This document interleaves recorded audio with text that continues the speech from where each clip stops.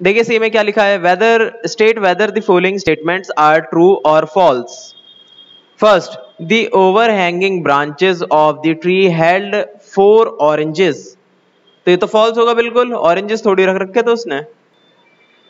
Second है the tree the apple tree wish that trees should multiply तो हाँ Apple tree तो चाहता था कि बहुत सारे पेड़ हों तो ये ट्रू होगा। नेक्स्ट है Henry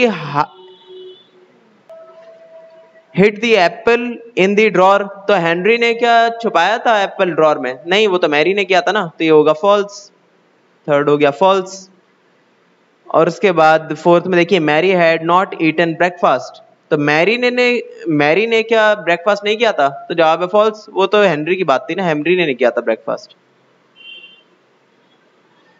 फिफ्थ में John made a contribution to his environment तो बिल्कुल, ये ट्रू है। एनवायरमेंट में कुछ कंट्रीब्यूट करा ना जॉन ने? वो सीड को प्लांट कर दिया। डी में देखिए। शॉर्ट आंसर क्वेश्चंस में फ़र्स्ट जो है what was the tree's wish tree की ख्वाहिश क्या थी? To multiply trees for environment ताकि बहुत सारे पेड़ हों लोगों के लिए और पूरे एनवायरमेंट के लिए। नेक्स्ट है what did the tree say to Mary the tree has two apples Mary से कहा उसने कि ट्री के पास दो एप्पल है क्योंकि एक तो हेनरी खा चुका था पहले।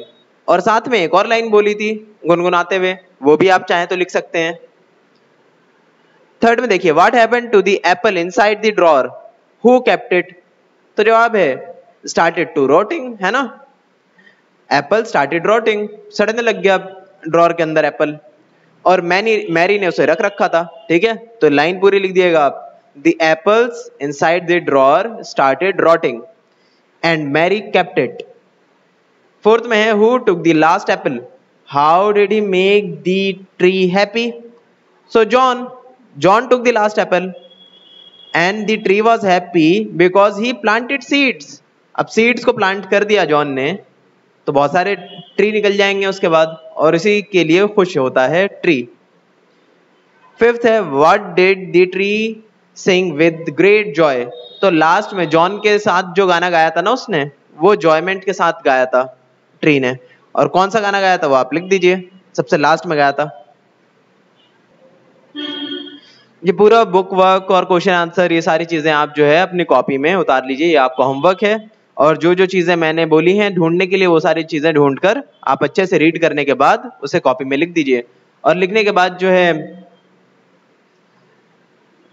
मैं आपको बताऊँगा, तब आप कॉपी जो है अपनी, उसके फ़ोटो लेके मेरे नंबर पे सेंड कर दीजिएगा। ओके